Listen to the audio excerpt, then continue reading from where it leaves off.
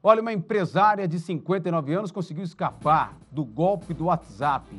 A gente mostra aqui geralmente pessoas que caem no golpe. Essa empresária ficou atenta, viu que tinha algo de errado e falou com a gente para dar justamente essa dica, né? essa utilidade pública. Falou: olha, eu escapei, você também pode escapar. Balança. Nós estamos aqui na Central de Polícia Judiciária, onde encontramos a Geisa, que é empresária e agora pela manhã foi vítima de uma tentativa de golpe. Mas, diferente de muitos outros casos, ela não caiu na conversa desse criminoso, tudo através do WhatsApp. Inclusive, ele se passou pelo filho dela, que não mora aqui na cidade, está fora da região, e ela agora conta mais detalhes pra gente. Geisa, a senhora estava me falando que ele logo pela manhã, tendo um horário em comum, que o seu filho não costuma falar com a senhora, já te chamou no seu WhatsApp pessoal. Sim, ele já enviou uma mensagem perguntando de mim, né?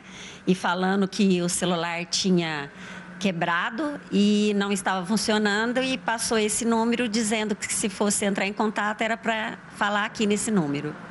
E aí a senhora já acordou, viu que ele estava chamando, ficou preocupada, a princípio achando que era ele. É, achei estranho a forma que a pessoa estava falando, como estava me chamando, né? O jeito que colocou. E falei, eu estou preocupada, aconteceu alguma coisa?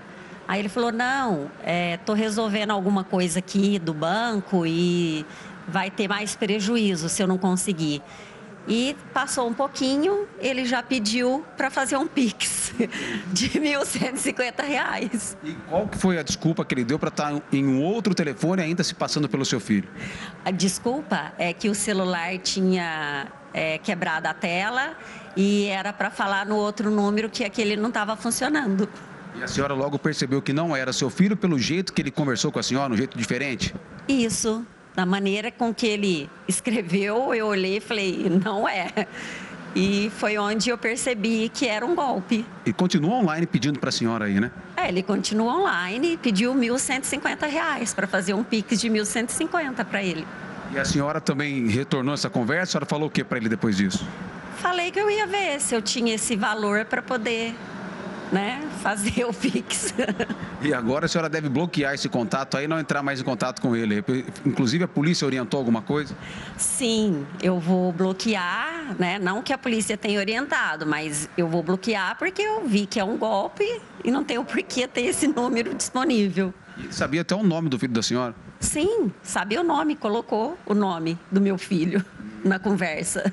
E a senhora chegou a falar com seu filho? A senhora na hora que percebeu aí, como que foi? Olha, eu percebi. Eu ainda não falei com meu filho porque eu sei que ele não está disponível, então vou aguardar um momento que eu consiga e percebi que era um golpe.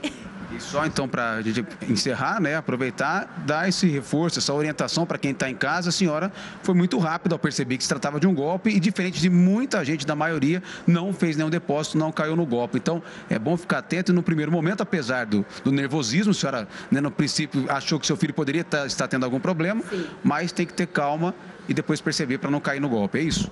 É, a gente tem que estar tá atento, prestar atenção, porque uma, né, se for assim na hora da correria, você vai entender que é uma pessoa da sua família, né? Porque eles passam de uma forma a convencer mesmo, né, que você é a mãe e ali é o filho. Entende? Então tem que ficar muito atento a isso.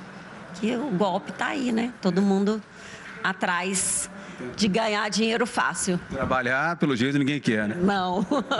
aqui a Geise, então, que é empresária, e ela, diferente de muitos casos que nós mostramos aqui na Central de Polícia Judiciária, a Geisa não caiu no golpe, porque rapidamente percebeu que não era o filho dela que estava do outro lado dessa conversa pelo WhatsApp. Com imagens de Carlos Martins, para o Balanço Geral.